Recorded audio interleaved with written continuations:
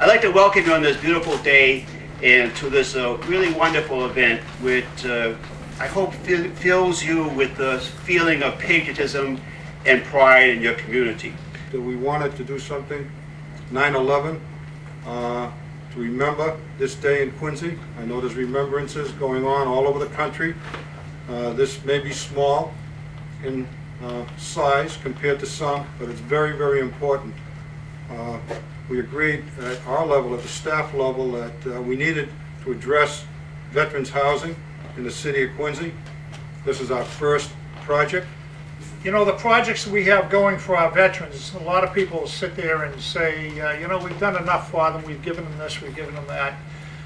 Well, we didn't give them the clear mind to come back from their fighting. We didn't give them that clarity of thought on an awful lot of things. Uh, When they come back, they have a heavy sea bag to carry. Uh, This house here, for example, this won't lessen the war that the individual who goes in here, whether it be a woman or a man veteran, the war will still have been in the back of their mind and will be in the back of their mind, but hopefully this is going to show them that there is a little light at the end of the tunnel. I want to thank Neighborhood Housing for taking the opportunity to invest in one of Ward One's great neighborhoods here in Germantown. And we have a second project which has also been alluded to at the American Legion Post on C Street. What a tribute to the members of Post 380 that in their loss of the post and its recreation is will be housing for veterans to continue that service to our country.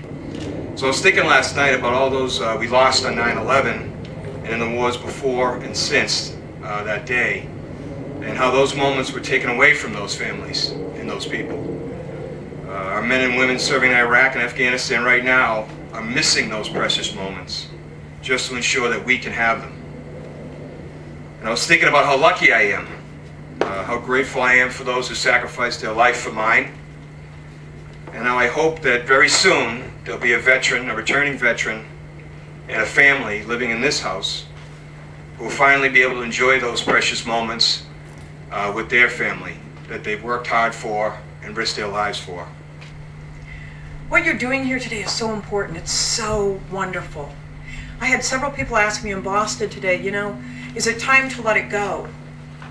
We have to remember what happened. We have to remember what happened.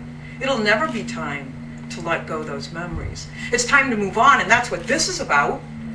We are moving on, watching out for the veterans who are coming back, taking care of them. You guys are an example, a model for the rest of the state. Whereas the President of the United States on September 11, 2009, issued the Patriot Day Proclamation, officially and permanently designating September 11th as a National Day of Service and Remembrance, in calling upon all interested Americans to participate in this observance through moments of silence, the flying of the United States flag, as well as community service and charitable activities in tribute and in remembrance. Now therefore, in tribute to all the victims of 9-11, and many of those who rose in service to respond to the 9-11 terrorist attacks, I, Thomas Koch, Mayor Quincy, do hereby proclaim September 11, 2012 as Voluntary Day of Service and Remembrance. And I furthermore call upon our citizens and organizations to consider joining in this observance. America, America, God shed his grace on thee and crown thy good with brotherhood from sea to shining sea.